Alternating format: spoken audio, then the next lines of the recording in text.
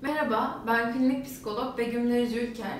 Daha önceki videolarda yeme bozukluğu ve obezite ilişkisinden ve e, obeziteyi önlemek amaçlı veya iyileştirmek amaçlı yeme davranışının değişikliğinden konuştuk. Bugünkü videoda o değişen yeme davranışlarını nasıl pekiştireceğiz, nasıl güçlendireceğiz birazcık ondan konuşacağız. Bir davranışı pekişmesi, güçlenmesi o davranışın sıklığına ve yoğunluğuna bağlı.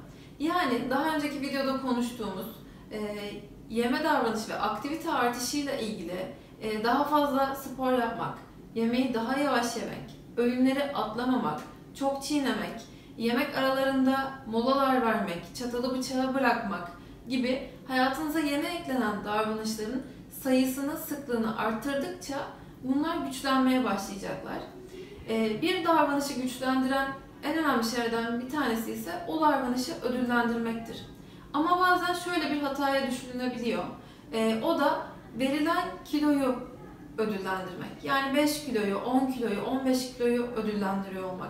Ama psikolojik olarak en önemli şey o rakamı değil de yaptığınız davranışı ödüllendiriyor olmak. Mesela e, bir gün öğünlerinizi hiç atlamazsınız ve böylece de e, açlık hissi yaşamazsınız.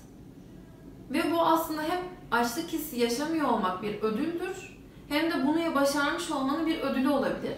Bu ödülün e, yemek olmaması önemli. Onun yerine e, başka davranışlar veya sosyal aktivitelerle kendinizi ödüllendirebilirsiniz. Bunlardan en güzeli özellikle obezitedeki kilo verme sürecinde giysilerdir.